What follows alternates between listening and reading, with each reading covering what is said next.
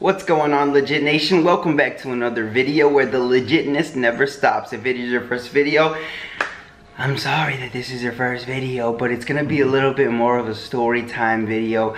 Um, I'm not sure if, you know, a mistake was made or what's going on, but this video is particularly directed to Champ Sports. So, Champ Sports, nothing against you. I really hope that if somebody from the marketing department or something from the social media team sees this, I really hope that uh, you guys will reach out to me because I don't know what's going on.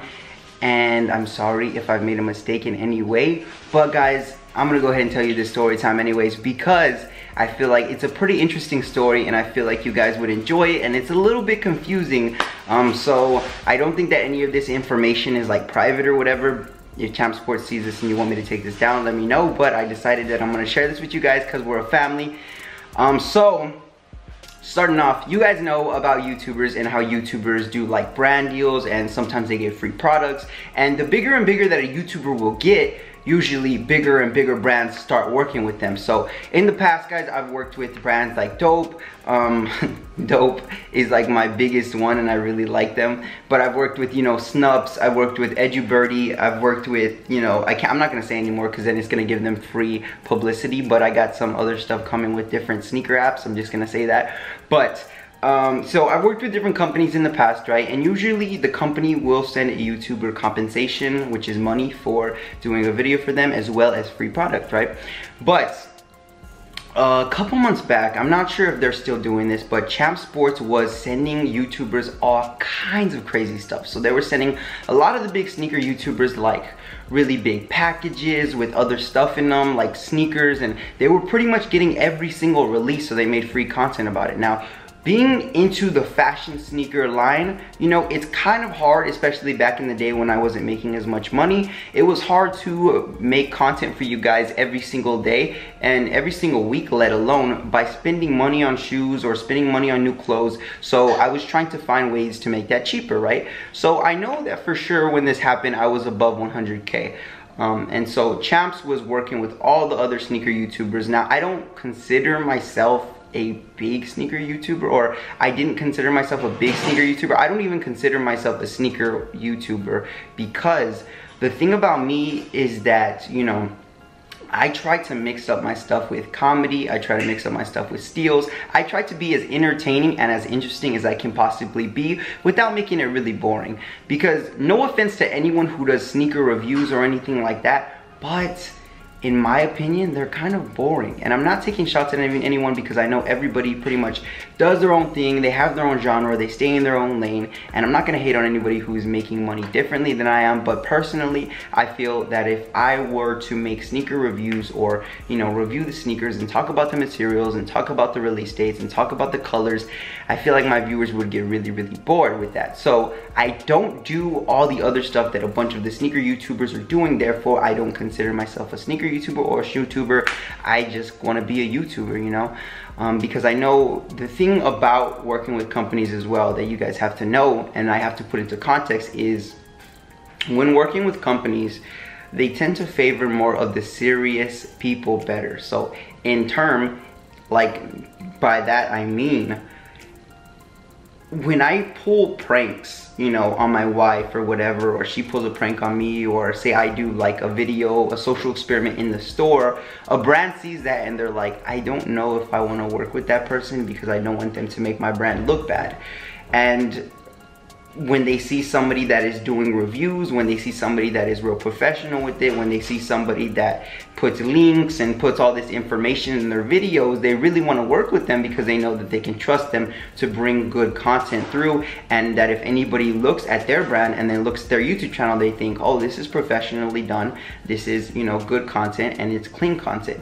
And the problem that I have that I'm different is that I like to make it more fun. I like to make it more entertaining and not all the time do brands like that. Brands want to work with people that are serious, that are, you know, state the facts and stuff. And I don't want to be like that, you know? And the reason why I don't want to be like that is because I, I feel like, you know, if you're going to be serious and stuff, if you're going to be serious, people don't tend to watch that as much and people it won't tend to go viral as much as being entertaining well versus if you're doing a prank a public experiment that stuff can go viral people love that stuff people watch that for entertainment people want to watch that all the time versus when people are just looking up a shoe to buy they want to know the facts they want to know how it feels that's the only time that somebody will watch that so Anyways, moving on. I know I've already talked to you. I've, I've, pretty much already laid a base for it. Now I want to tell you guys what actually happened.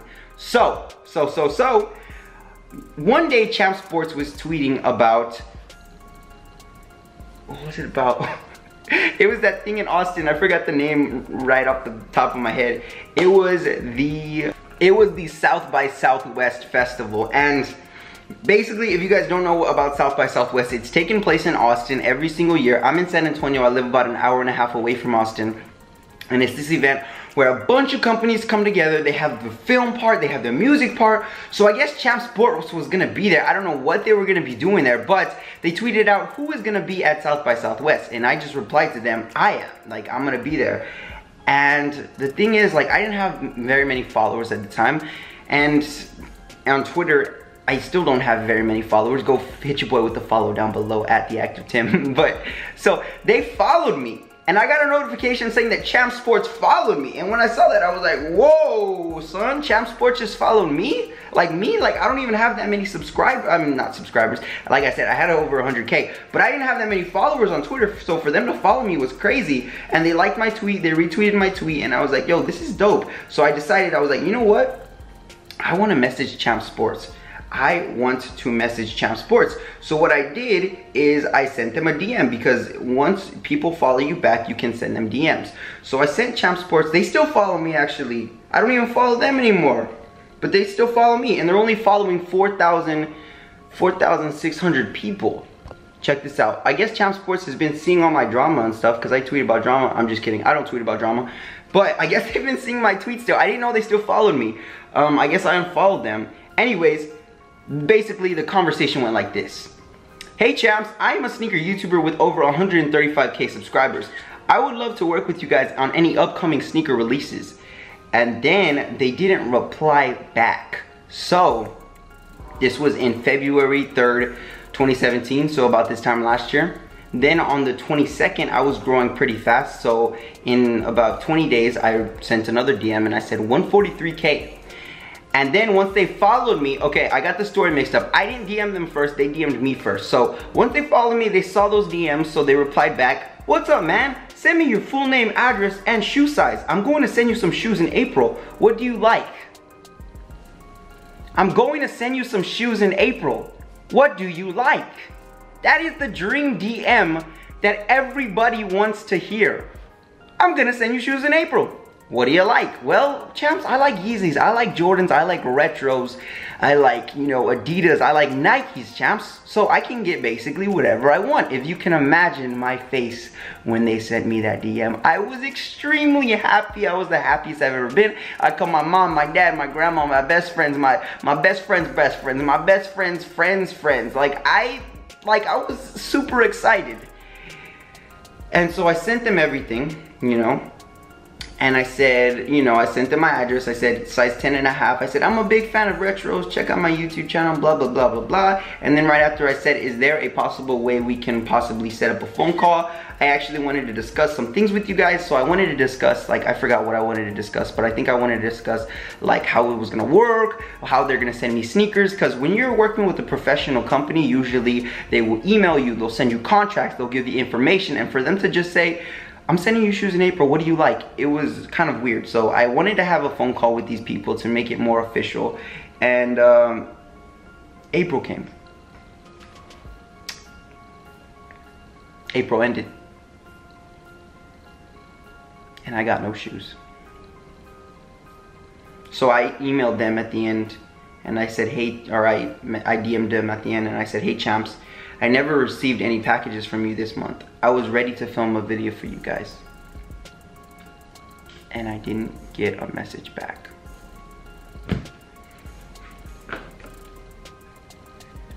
So champs, I don't know if this was a mix-up. I don't know if it was a mistake. I don't know if you saw my content and you didn't like me. But I still love you. So if you could, hit me back with the message. I was left unread, no reply. You are worse than any girl that I've ever talked to in my life, champs. Because you were gonna send me shoes. And I never received any shoes. So hit me up, baby. We'll discuss it in the DMs.